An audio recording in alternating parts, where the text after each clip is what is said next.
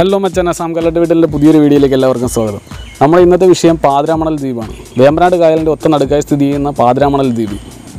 ഒരു രണ്ടാം ഘട്ട ലോക്ക്ഡൗണിന് ശേഷം പാതിരാമണലിന്റെ ഇപ്പോഴത്തെ അവസ്ഥ എന്താണെന്ന് നമുക്ക് അവിടെ പോയി അവിടെ തന്നെയുള്ള ആരോടെങ്കിലും ചോദിച്ച് മനസ്സിലാക്കാം.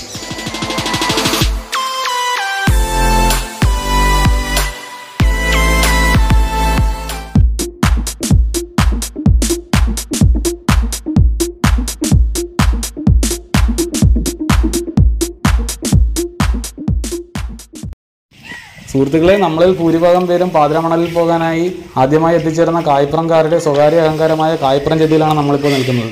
പാതിരമണലിനെ പറ്റി വ്യക്തമായ കാര്യങ്ങൾ നമുക്ക് പറഞ്ഞു തരുന്നതിനായി ഈ നാട്ടുകാരനും സർവോപരി നമ്മുടെ കൂട്ടുകാരനുമായ അനീഷ് തണ്ടാർ നമ്മളോട് കൂടിച്ചേരുന്നു.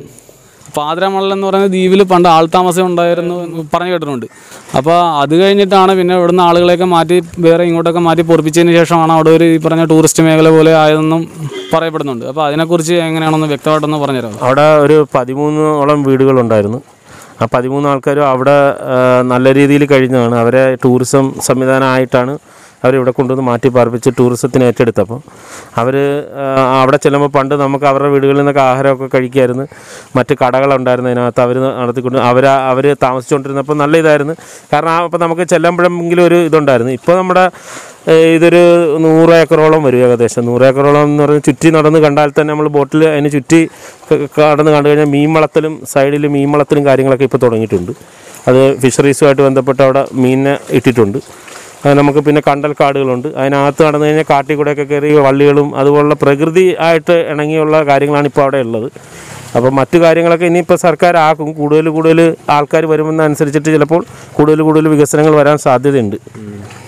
മുഹമ്മയിൽ നിന്നും ആലപ്പുഴ നിന്നൊക്കെ ബോട്ട് സർവീസ് പാതിരമണലിലോട്ട് വരുന്നെന്ന് പറയുന്നുണ്ട്. അപ്പോൾ അതിൽ നിന്ന് നമ്മൾ പുറത്തുനിന്നുള്ള ഒരാൾ നോക്കുമ്പോഴത്തേക്ക് ഈ കായപ്പുറം ചെട്ടിയിൽ വന്നു കഴിഞ്ഞാൽ ഇവിടുന്ന് ഒത്തിരി ശിക്കാര ബോട്ടുകളോ അല്ലാതെ സ്പീഡ് ബോട്ടുകളൊക്കെ ആയിട്ട് നിറച്ചിവിടെ സർവീസ് ചുരുങ്ങിയ ചെലവിൽ തന്നെ നടത്തുന്നുണ്ടെന്നുള്ളതാണ് നമുക്കറിയാൻ പറ്റുന്നത്. അങ്ങനെ അവിടുന്ന് ഗവൺമെന്റ് സർവീസിൽ കയറി വരുന്നതും ഇവിടുന്ന് പോകുന്നതുമായിട്ടുള്ള ഒരു മെച്ചം എന്താണെന്ന് ഒന്ന് വ്യക്തമായിട്ടൊന്ന് പറയാം ഇവിടെ നിന്നുള്ള സർവീസ് എന്ന് പറഞ്ഞു കഴിഞ്ഞാൽ അവർക്ക് പോകുന്ന എത്ര സമയം വേണേലും അവിടെ ചിലവഴിച്ചിട്ട് വരുമ്പോൾ നമ്മൾ ഫോൺ നമ്പർ കൊടുത്തിട്ട് പോരും തിരിച്ച് കൊണ്ടുപോരാം. മറ്റേന്ന് പറഞ്ഞു കഴിഞ്ഞാൽ അവർക്ക് അരമണിക്കൂർ ഇല്ലെങ്കിൽ ഇരുപത് മിനിറ്റ് സമയം കിട്ടത്തുള്ളൂ. ആ ബോട്ട് അവിടെ കിടന്ന് ഇരുപത് മിനിറ്റ് കഴിയുമ്പോൾ തിരിച്ചു പോകും. പിന്നെ പിന്നെ ബോട്ടില്ല പിന്നെ ആൾ കൂടുതൽ വന്നാൽ മാത്രമേ അവർ ബോട്ട് ഓപ്പറേറ്റ് ചെയ്യത്തുള്ളൂ. നമ്മളെ ഒരാളാണേലും രണ്ട് പേരാണേലും നമ്മൾ അക്കരെ കൊണ്ടുപോകും. അവരിപ്പോൾ രാവിലെ പോയിട്ട് വൈകിട്ട് വരുന്നവരാണ്. വൈകിട്ട് വരെ നമ്മൾ വെയിറ്റ് ചെയ്യും. നമ്മൾ വൈകിട്ട് വരെ വെയിറ്റ് ചെയ്യണേ. നമ്മൾ നമ്പർ കൊടുത്തിട്ട് പോരും. തിരിച്ച് ചെന്ന് നമ്മൾ റിട്ടേൺ ചെന്നവരെ വിളിച്ചുകൊണ്ട് വരും. അപ്പോൾ ആൾക്കാർക്ക് ഏത് സമയത്ത് വേണമെങ്കിലും ഒരു എമർജൻസി ആയിട്ട് പെട്ടെന്ന് പോരണമെന്നുണ്ടെങ്കിലും പോരാം. ഗവൺമെന്റ് ബോട്ടിലാകുമ്പോൾ അതിനുള്ള സാഹചര്യം ഇല്ല. അത് ഒരു സമയത്ത് മാത്രം കൂടുതൽ ആളുണ്ടെങ്കിൽ മാത്രമേ അവർ സർവീസ് നടത്തത്തുള്ളൂ. ആൾ കുറവാണെങ്കിലില്ല ഇത് ഇവിടെ എന്ന് പറഞ്ഞു കഴിഞ്ഞാൽ നമുക്ക് ഇരുപത്തിനാല് മണിക്കൂറും പിന്നെ പകൽ രാവിലെ ആറ് മണി തൊട്ട് വൈകിട്ട് ആറ് മണി വരെ നമുക്ക് യാതൊരുവിധ ഇല്ല. ഇരുപത് ആ സമയത്ത് ഫുള്ളായിട്ടും നമുക്ക് എപ്പോൾ വിളിച്ചാലും നമ്മൾ ചെന്ന് ആൾക്കാരെ എടുത്തുകൊണ്ട് വരാനും കൊണ്ടാക്കുന്നതിനുള്ള സംവിധാനമുണ്ട്. പാതിരാമണൽ ടൂറിസം ഇപ്പോൾ നേരിട്ട് കൊണ്ടിരിക്കുന്ന പ്രധാന വെല്ലുവിളികൾ എന്തൊക്കെയാണെന്നൊന്ന് പൊതുജനങ്ങളിലേക്കും അധികാരികളിലേക്കും എത്തിക്കുന്നതിനായി പറയാമോ? ഇതുമായിട്ട് ബന്ധപ്പെടുകയാണെങ്കിൽ ഇവിടെ ഒരു പതിമൂന്നോളം ബോട്ട് ആൾക്കാർക്ക് അക്കരയ്ക്ക് ഇക്കരയ്ക്കും പോകാനായിട്ടുള്ള സംവിധാനം ഇവിടെ ഉണ്ട് നിലവിൽ പക്ഷേ നമുക്ക് അക്കരയിൽ പോയി കഴിഞ്ഞാൽ അവിടെ പോയി ആൾക്കാർക്ക് വെറുതെ കാട് കാണാൻ അതിനപ്പുറത്തേക്ക് ഒന്നും തന്നെ ഒരു സംവിധാനങ്ങളും അവിടെ ഒരുക്കിയിട്ടില്ല. അപ്പോൾ അത് ഒരു പഴയൊരു വലിയ നീന്തൽക്കുളം ഉണ്ടായിരുന്നു. അത് തന്നെ വെട്ടിത്തെളിച്ച് കഴിഞ്ഞാൽ കുറച്ച് പെടൽ ബോട്ടൊക്കെ ഇട്ട് കഴിഞ്ഞാൽ തന്നെ ആൾക്കാർക്ക് വളരെ ഇതാവും. പിന്നെ പ്രകൃതിയായിട്ട് ഇണങ്ങി ചേർന്നുകൊണ്ട് കുറച്ച് ഹട്ടുകളൊക്കെ ഉണ്ടാക്കി വെച്ച് കുറച്ച് ചെടികളൊക്കെ ഈ ചുറ്റിനും കല്ല് കെട്ടിക്കൊണ്ട് ആൾക്കാർക്കൊന്ന് വിശാലമായിട്ട് ഇരിക്കാനും കുറച്ച് മുള കൊണ്ടുള്ള കസേരകളും പ്രകൃതിക്ക് ദോഷമില്ലാത്ത രീതിയിൽ കുറേ സംവിധാനങ്ങൾ ചെയ്യുകയാണെങ്കിൽ ആൾക്കാർക്കൊരു ഇതായിരിക്കും. പിന്നെ ചെല്ലണവർക്കൊരു വെള്ളം കുടിക്കാൻ പോലുള്ള കട അവിടെ ഇല്ല. ബാത്റൂം ഉണ്ടാക്കിയിട്ടുണ്ട് രണ്ട് സ്ഥലത്ത് ബാത്റൂം ഉണ്ടാക്കിയിട്ടുണ്ട്. പക്ഷേ അത് സാമൂഹ്യ വിരുദ്ധരി കയറി എല്ലാം അടിച്ചു പൊട്ടിച്ച് നശിപ്പിച്ചിരിക്കുന്നത് അതിന് കോവിഡ് വരണതിന് വരുന്നതിന് മുന്നേ ആയിരക്കണക്കിന് ആൾക്കാർ ഡെയിലി വന്ന് പോകുന്നതാണ്. എല്ലാ സ്ഥലത്തു നിന്നുള്ള ആൾക്കാർ കോമരത്തു നിന്നും കോട്ടയത്തു നിന്നും ആലപ്പുഴയിൽ നിന്ന് വരെ ഇപ്പോൾ ബോട്ട് സർവീസ് തുടങ്ങിയിട്ടുണ്ട്. അപ്പോൾ ഇഷ്ടംമാതിരി ആൾക്കാർ ദൈനംദിനം ഇവിടെ വന്നു പോകുന്നതാണ്. അപ്പോൾ അവർക്ക് വരുമ്പോൾ അതിനകത്തേക്ക് കയറുമ്പോൾ അവിടെ എന്തെങ്കിലുമൊക്കെ സാധനങ്ങൾ ഉണ്ടെങ്കിലല്ലേ ആൾക്കാർ വരത്തുള്ളൂ.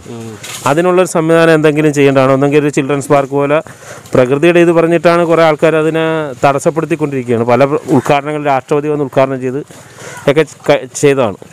പക്ഷേ ഇനിയും ചെയ്യാവുന്ന കാര്യമുണ്ട്. ഇപ്പോഴത്തെ എല്ലാവരും നല്ലൊരു മാസ്റ്റർ പ്ലാൻ തയ്യാറാക്കിക്കൊണ്ട് പ്രകൃതിക്ക് ദോഷം വരാത്ത രീതിയിൽ വികസനങ്ങൾ ഉണ്ടാക്കുക എന്നുള്ളതാണ് ആദ്യപടി എന്നുള്ളത് ചെയ്യണം. എല്ലാ സ്ഥലത്തുനിന്നും ആൾക്കാർ നിറയെ സ്കൂൾ കുട്ടികളാണേലും കോളേജിലെ ആൾക്കാരൊക്കെ വന്നുകൊണ്ടിരുന്നതാണ്. ഇപ്പോൾ കോവിഡ് ആയതുകൊണ്ട് നമുക്ക് ആൾക്കാരും വരുന്നില്ല ബോട്ടുകാരും എല്ലാം ആ പട പട്ടിണിയിലാണ്. പണ്ടൊക്കെ ഇവിടെ വരുമ്പോഴത്തേക്ക് നിറച്ച് ബോട്ട് ഇങ്ങനെ നിറഞ്ഞ് കിടക്കുന്ന ഒരു അവസ്ഥയായിരുന്നു നമുക്ക് കാണാൻ പറ്റുന്നത്. പക്ഷേ ഇപ്പോൾ വന്നപ്പോഴത്തേക്ക് ലോക്ക്ഡൗൺ മാറി പഴയ ആ ഒരു ലെവലിലോട്ട് വരുന്നേ ഉള്ളൂ. അതുമല്ല ടൂറിസം മേഖലയൊന്നും അധികം ഓപ്പൺ ആയിട്ടില്ല.